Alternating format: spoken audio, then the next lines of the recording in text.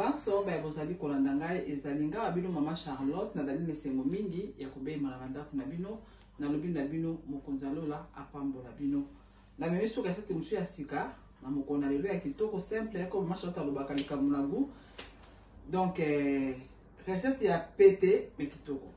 Yambo nakoma na kolakisa eloko nini nasala mokolo na lelo, balandi to ya Grace Cuisine to mpe yo oye okomona nga mpo na mbala na liboso, mama Charlotte apesaka toujours toli avant alakisa eloko nini oyo akolamba. Toli ya moke ezali toli ezali kosunga mabota ebele. Conseil na kopesa lelo na pesaki conseil wana mwa ndambu na emission elekanaki la fois passée na bena kozongela conseil wana. Ezali likambo ya ko préparer bana na biso ya basi na kati ya libala to pe na mariage. Nalobaki eloko moko nalobi sur 100% ya réussite ya mariage conseil mpo libala ezala malamu sur 100% nango 80% tokindelaka kaka mwasi femme soye soumise femme boye wa misepelisa mobali na yo mwasi boye mwasi boye mwasi boye mais tozobosana kopesa le même conseil wana mpe na bana na biso ya mibali okomona ke baerreur oyo bapapa na biso baosala na bandako to mpe mibali na biso baosala na bandako ekozala le même erreur ke bana mpe ya mibali biso toboti bana na bandako na biso bakorepete yango na bandako na bango parce que on donne que ce que on a yango mashla apesi mwa likanisi bapapa bamama To banda pe ko solola na bana na biso ya mibali ko preparer bango ndenge nini ya ko fanda na mwasi na kati na ndako. Po ye azo mona papa na ye abangaka mama na ye, a respectaka mama na ye te pardon. Papa na ye afingaka mama na ye. Papa na ye abetaka mama na ye. Mwana wana ya mobali oyo akoli na atmosphère ya modèle wana, bo zala sur, sur 100%, au moins 70% ya bana modèle wana ba ko repeter yango tango bango ba ko bala basi na bango. yango wana eza important ba papa ba mama tuta ba, tuta ba, ba responsabilité na biso fandisaka mwana oyo alingi kosepapa ye oyo kobala ya mobali pesa ye toli papa nzambe asengi biso kaka biloko eloko kaka moko epa mwasi eloko moko epa mobali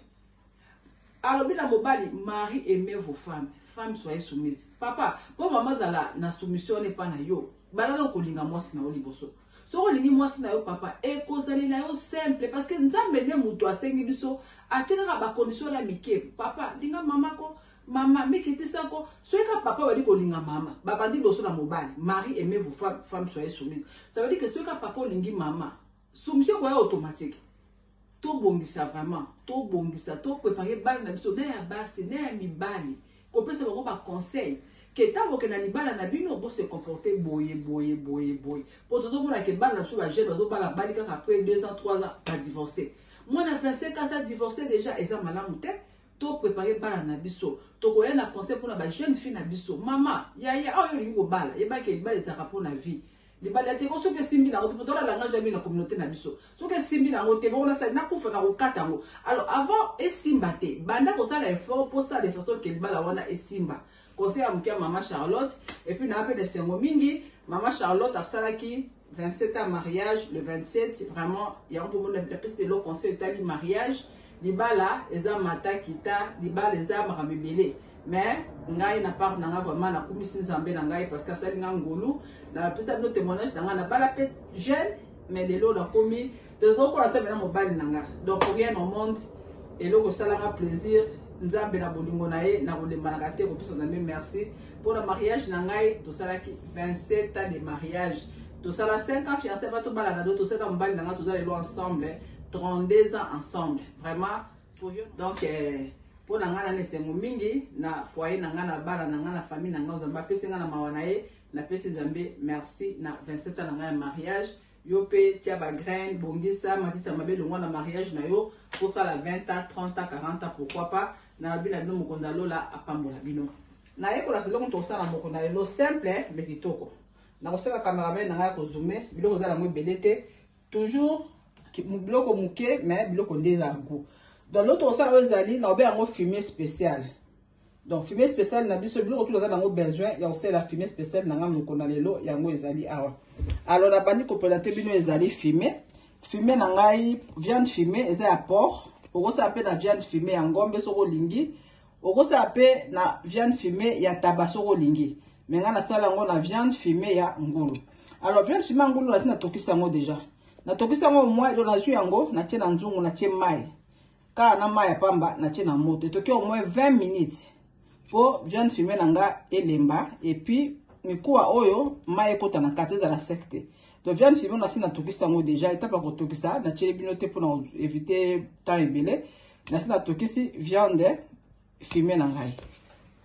Alors, biloko na kosala na viande, bien fumier na ngai na kosala yango ya kokalinga. Tokotango juste na nzungu, tobakisi matungulu na biso, tobakisi poivron na biso, mwa ba épices ya mike mike, totiki yango mwa moke na moto et puis to servir yango na kwanga na makemba na eloko tuyo lingi. Pona kosala ko réaliser recette ya mokona lelo, na na poste ya poivron, poivron boyebi yango ezaka partout.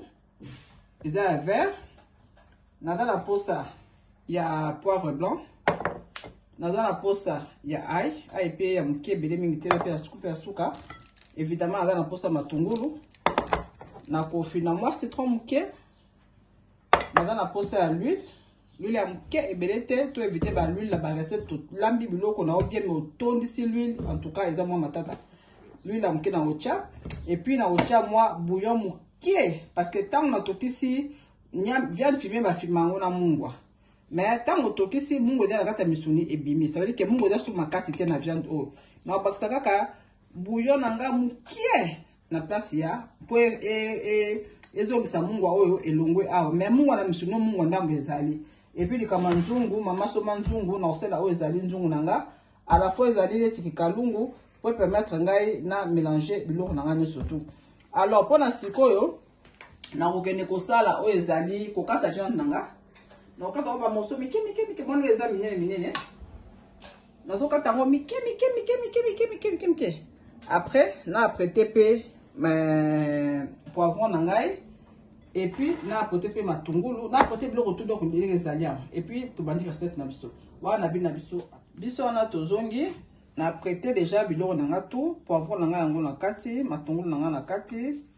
eteni na nga to ndambo na nga citron yango oyo viande na nga mpe yango oyo na kati yango oyo na kati yango ma bamorso ya mike mike na kolekana koprepare oyo ezali nzungu na nga ya eh, viande na nga fume yango oyo natie na nzungu alors nazwi matungulu natie soki olingi pilipili pourkoi mpo okopasa pilipili me nga natie na nga pilipili te natie matungulu na nga nazwi poivron na nga oyo nalakisi biso natie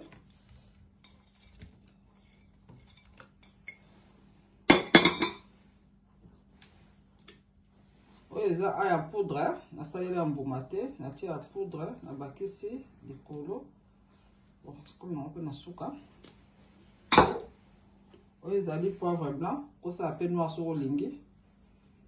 nabakisi natie na ngai muskadi te natie kaka boye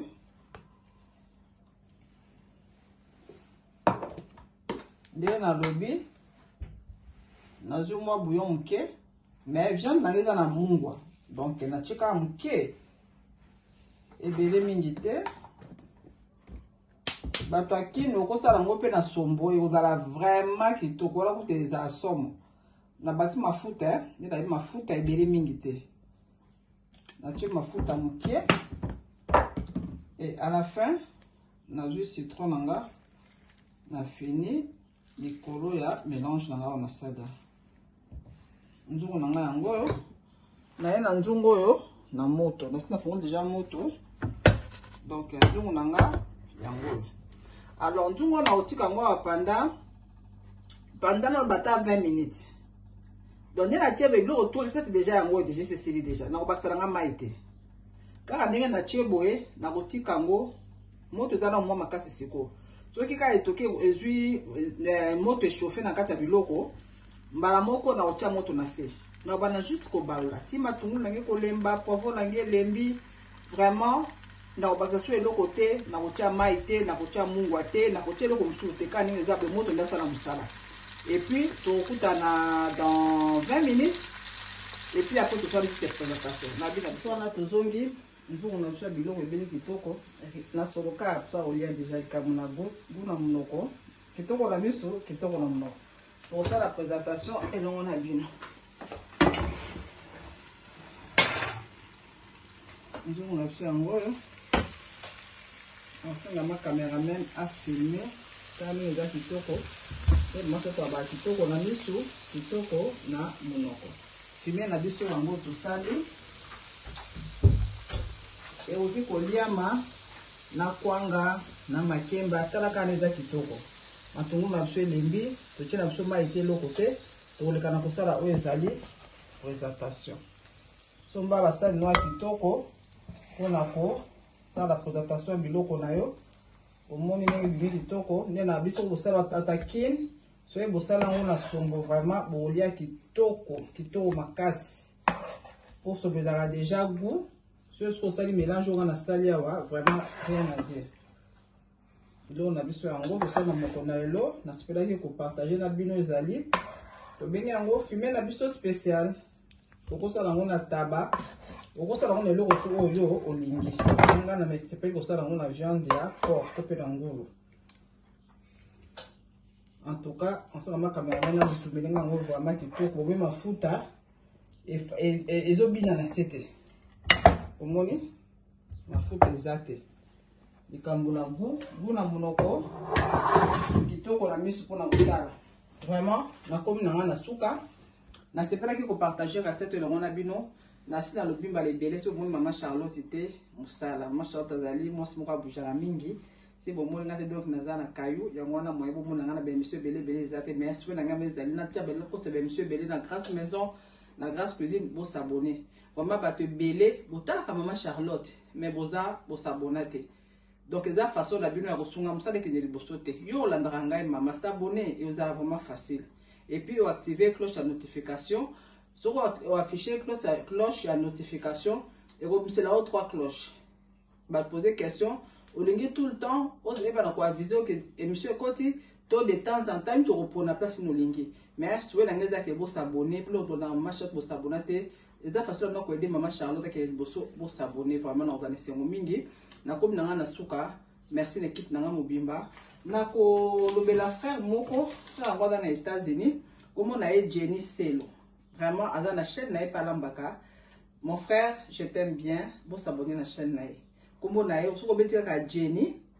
Selo. Okozwa ba video na ye, aosala ba video kitoko, aza mwana mobali. Rien kaka aza mwana mobali, aosala cuisine, aona ba biloko na biso ya Congo. Vraiment puis pour ça ko s'abonner. Bo s'abonner na chaîne na ye, mon frère, je t'aime bien. Vraiment toza sima na opona kosunguka liboso. Jenny Selo. Bo s'abonner et osala ndeko biso mobali plaisir. Aola ba biloko tout. cuisine congolaise azola bango vraiment kitoko nakomi na ngai na suka naza kose prepare mpo nazobima wana na bino na bino à la prochaine